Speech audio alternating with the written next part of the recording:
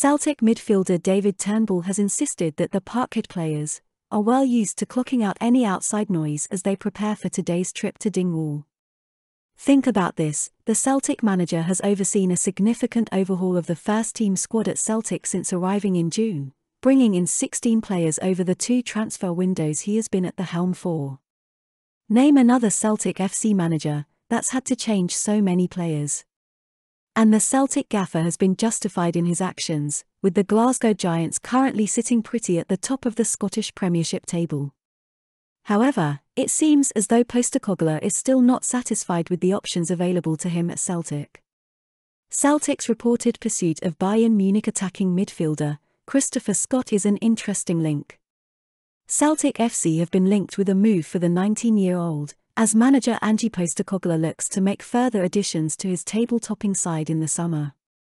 Tease an interesting link, this one. Obviously, he's a young player, only 19. He would maybe fit the bill for Celtic as he's out of contract in the summer, so he could arrive as a free agent. He's been playing for Bayern Munich's reserves, so we don't know too much about him, but at 19, he seems like an exciting attacker. At present, Tom Rogic is the only natural number 10 in Celtic's setup following the departure of Ryan Christie last summer. Therefore, Scott could be seen as an ideal successor to the Australia international, and Celtic will surely be eager to snap up the youngster without having to pay a penny. Celtic midfielder David Turnbull has insisted that the Parkhead players are well used to clocking out any outside noise as they prepare for today's trip to Dingwall. The post-mortem following Sunday's defeat to Rangers in the Scottish Cup semi-final at Hampden has provided the backdrop to this week with suggestions that the defeat can unnerve Celtic in the title run-in. It has been fine, he said. We have had a great week.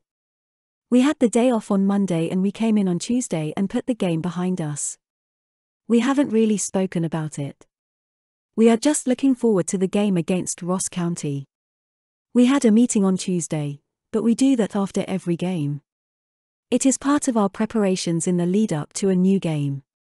The weekend was Callum McGregor getting the boys together and just getting us to all look forward to the final push of the season. The boys are all focused. We know what we need to do. Everyone is calm about it. We are taking each game as it comes and it is very much about continuing to do what we have been doing all season and just sticking to the playing our style of football. The lads always block out the outside noise. We know we just have to focus on the training pitch and in games and we always take each game as it comes. Turnbull was an integral part of the opening months of the season as he formed a midfield triumvirate with McGregor and Tom Rogic. In tears when he left the Hampden pitch in the League Cup final, the midfielder nevertheless maintained that there was never a point when he feared his season might be over. Now as Celtic go into the final five games that will define their campaign he is confident that he has something to offer. It has been good to slowly but surely get back in and get some game time and I just want more of that now, he said. I feel ready to start. I think I have been ready for a few weeks now, but the team have been doing so well I have had to bide my time. I just need to take my chance when it comes. Celtic needed a 97th minute winner the last time they were in Dingwall. Turnbull has no preference about how points come about this afternoon but cares only that three points are banked whichever way that may play out. The thing is about this Celtic manager, he is always looking forward. This is a comment of his from Friday. There are still a few areas we need to look at. We're still rebuilding and I want us to be stronger next year in terms of quality in the squad. We're in a better place than we were 12 months ago, but we still have to strengthen and that's what we'll do. And on that note, have a great day, Celtic fans all around the world.